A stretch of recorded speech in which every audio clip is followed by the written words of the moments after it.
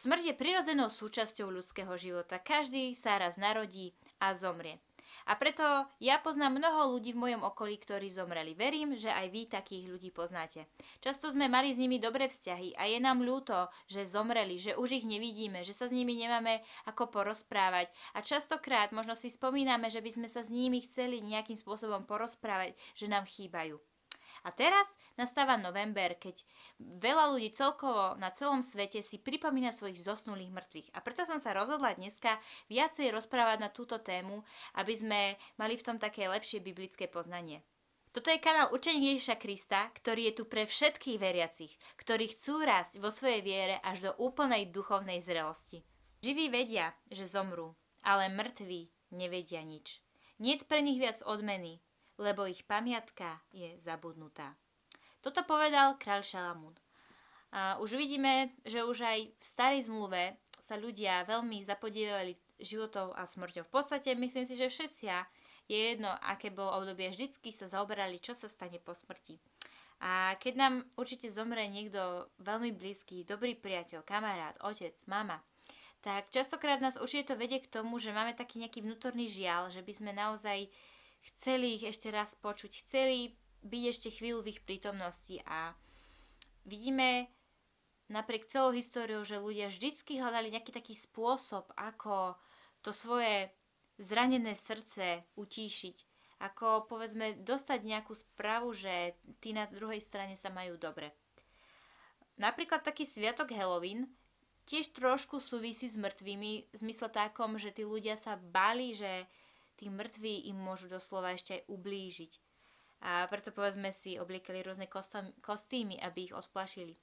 A teraz napríklad v novembri Sviatok dušičiek. Tam je zase ten princíp, že ľudia máme takú túžbu sa modliť za tých ľudí, aby boli spasení, aby, aby sa mali dobre, alebo aby nejakým spôsobom nás vedeli kontaktovať, aby sme od nich mali nejakú spätnú väzbu, že by nám to mohlo pomôcť.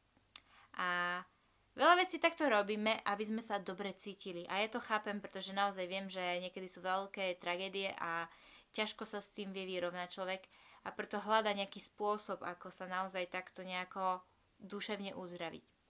Problém je iba taký, že my veľakrát v tomto našom v podstate dobrom mienenom chcení uh, robíme také veci, ktoré Božie slovo nazýva ľudskými tradíciami.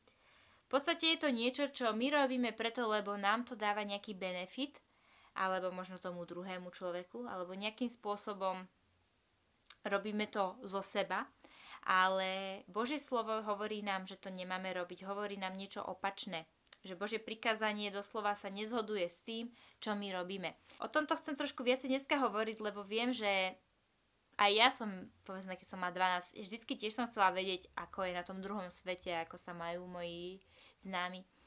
Problém je ale taký, že okrem toho, že to môže mať aj nejaké duchovné rizika na náš život, že si môžeme napríklad pri vyvolávaní duchov pozvať nejakého démona doslova do nášho života a nie našu mŕtvú babičku, tak je tam aj to riziko, že my v podstate nezachovávame Božie slovo, Božie prikázania a môžeme sa dostať do konfliktu s Bohom. Pán Boh nám dal jasné vyjadrenie svojho názoru čo máme robiť ohľadom mŕtvych v knihe 5. Mojžišovej? Nech nie je medzi vami niekto, čo by sa vypýtoval duchov mŕtvych.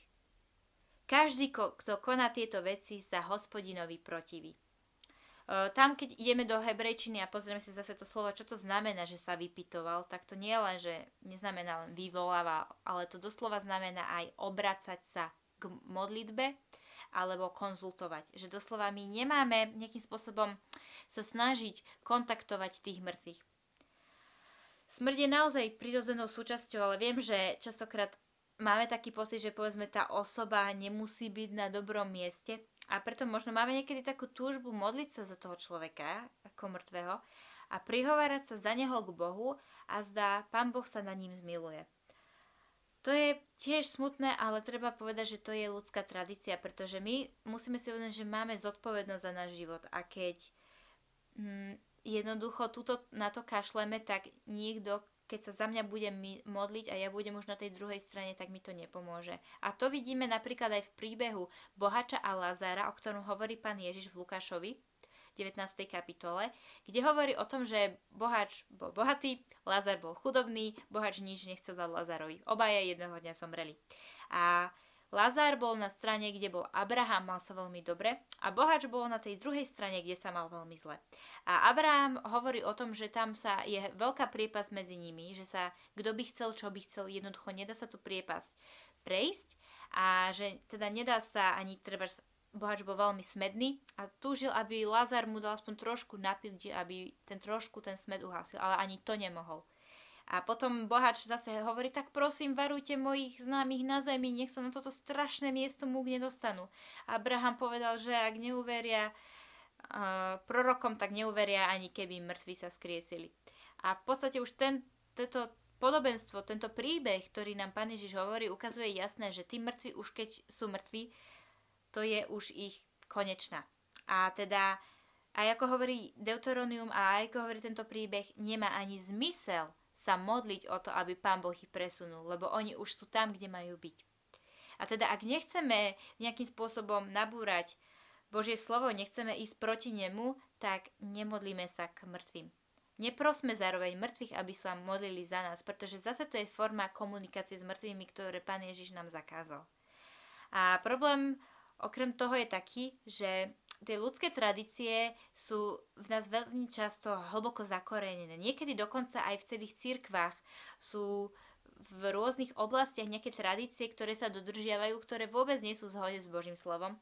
Preto musíme si vždy uvedomiť, že to, čoho sa držíme, je vždy Božie slovo. Potrebujeme ho poznať, aby sme to všetko vedeli rozsudzovať.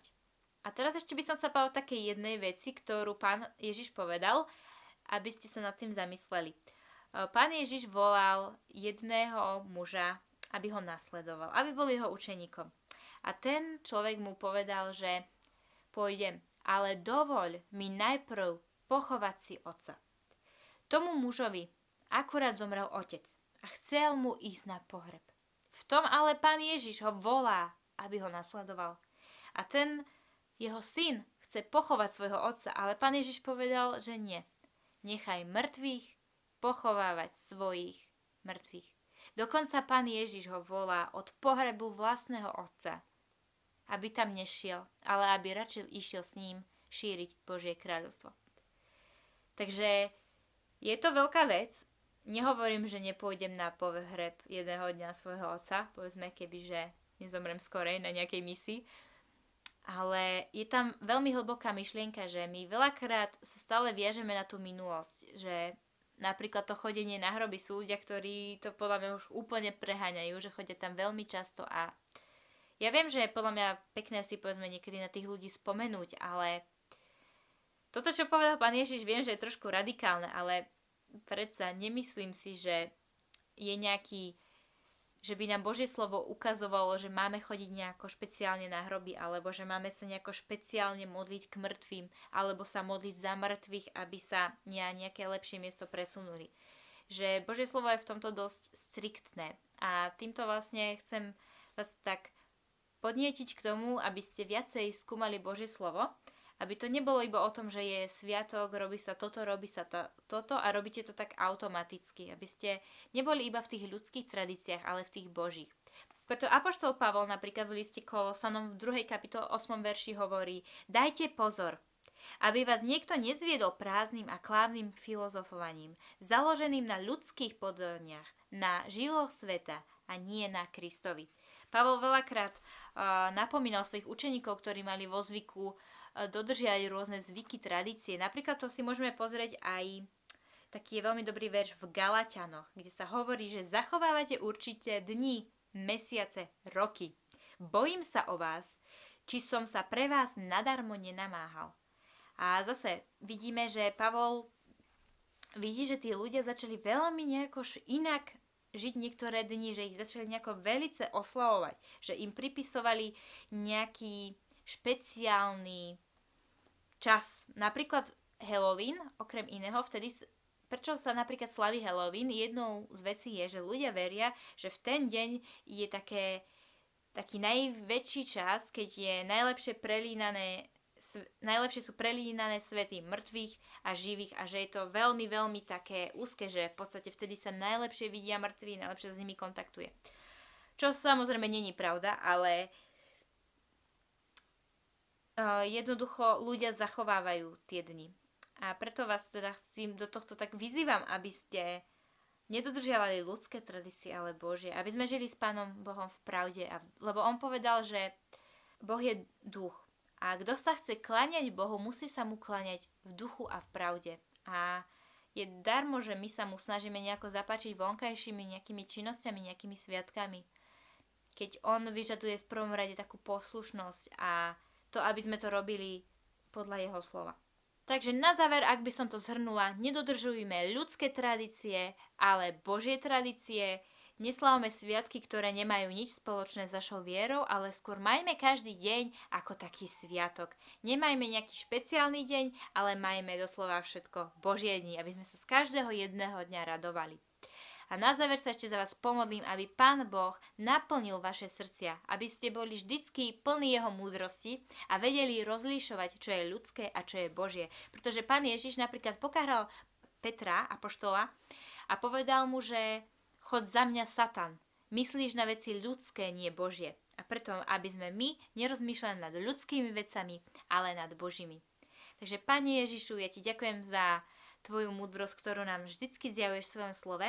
A ja sa modlím, Oče, aby si nám ukazoval veci, ktoré robíme, ktoré sú z nás, ktoré sú ľudské, čo sú ľudské tradície, Pane, ale aby si nás od toho úplne oslobodil, aby sme vždycky žili v Tvojej pravde a v nej kráčali a aby sme zachovávali, Bože, Tvoje slovo a Tvoje prikázanie, lebo iba v tom máš, Pane Ježišu, záľubu. Ja Ti za to ďakujem. Amen. Tak buďte požehnaní a uvidíme sa ďalšiu nedelu. Ak ste sa neprihlásili na odber tohto kanála, tak to urobte, lebo pravidelne takto sa budeme stretávať v nedeľu a rozprávať o Božom slove, aby sme vždycky boli plní Božieho ducha a poznali Pána Ježiša veľmi silno a osobne.